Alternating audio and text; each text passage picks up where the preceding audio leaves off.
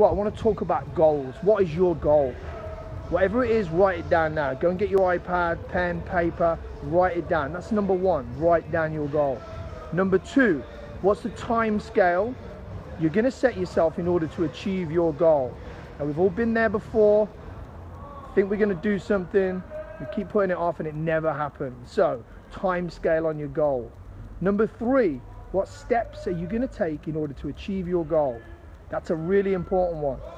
I'll give you an example. I'm getting married July the 31st. So there's my time scale.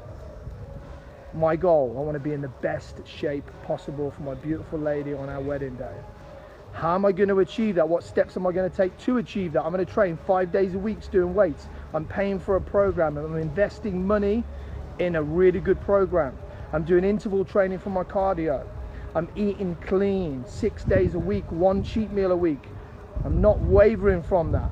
So that's the steps I'm going to take in order to achieve my goal. Number four is accountability. Tell someone about your goal.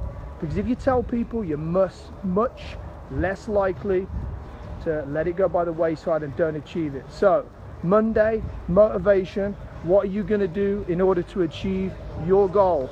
Like these guys are doing now, achieving theirs.